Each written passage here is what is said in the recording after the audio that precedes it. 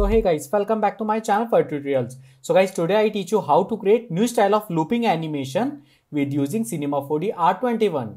But guys, you can use any Cinema 4D version. So first of all, guys, I am going to take a cube, this one, and change cube size. Guys, X1 I take 10 and Y 2.5 and Z1 10. Yeah, create this small cube. So guys, go to fillet and fillet radius 0.25 and guys subdivision I like 5 yeah. So next one I use cloner. So select this cube and make child with cloner. Yeah. Guys select this cloner and change mode use grid array. Yeah. And guys see that's my count. Count and size decrease like this like 10 and increase count 10 yeah. So guys this one decrease size same 10 yeah right? So increase the size. Guys size I like 35 is good. See that's my simple size right? Okay so now guys that's my flow.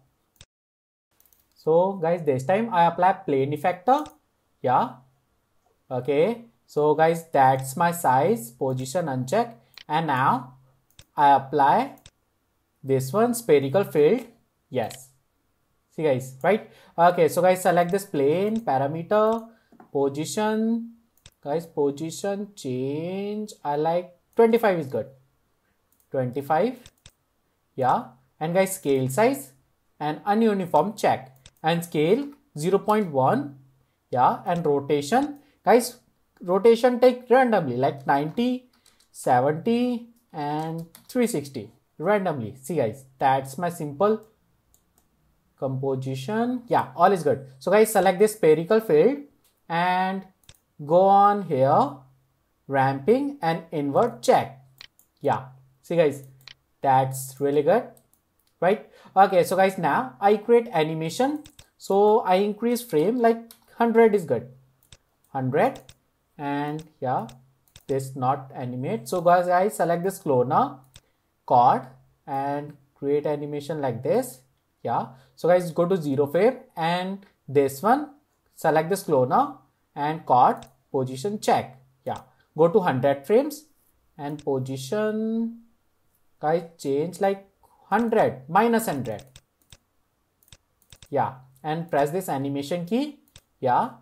So guys play yes that's my simple animation. So guys select this cloner and change. That's my graph editor. Select and click on here linear tool. Yes simple guys. So go to back and play. Yeah it's really simple guys right? Okay so guys now you can also change this size. This one spherical field size. Size change I like 50. I like 50. Yeah, 50 is really good.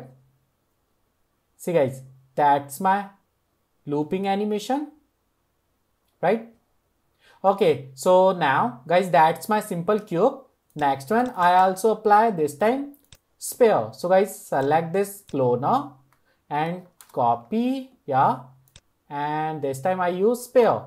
Yes, and sphere radius like 2 so guys, select this cube and unchild and delete. Select this sphere and make child with cloner. Yes. See guys, that's really good. Right? Okay, so guys, now go to here, change viewport. So guys, select this cloner and go to up like this. Yes, and play. Yeah, see guys, that's really beautiful. Right? It's really good. Okay see guys that's my simple flow looping flow. So next one i apply sphere and sphere radius change like this. Yeah 18 is good. And increase segments like 60 so guys go to front view panel go to up like this.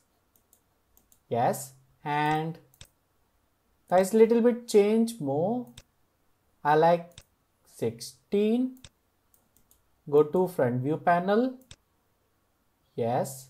Okay. See guys that's my simple flow. And now guys i create rotation animation. So guys select this sphere and go to here create rotation. Yeah. So guys press animation key on zero frame and go to last one.